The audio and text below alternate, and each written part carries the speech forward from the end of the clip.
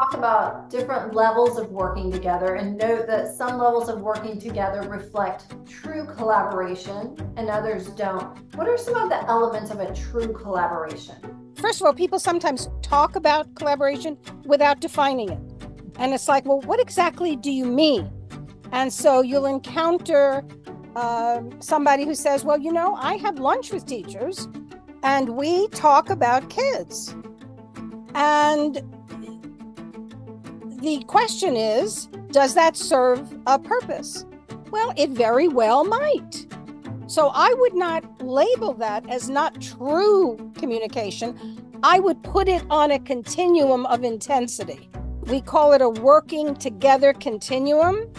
And uh, at the at the lower end, there's nothing. You don't talk to anybody. You're off on your own. You don't. And then on the other end, it's something that we call shared creation collaboration.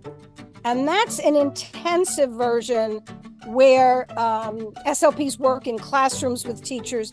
But what's interesting about this is the more I researched it and, and um, worked with it, is, you know, different levels or kinds of collaboration are called for at different times in different situations.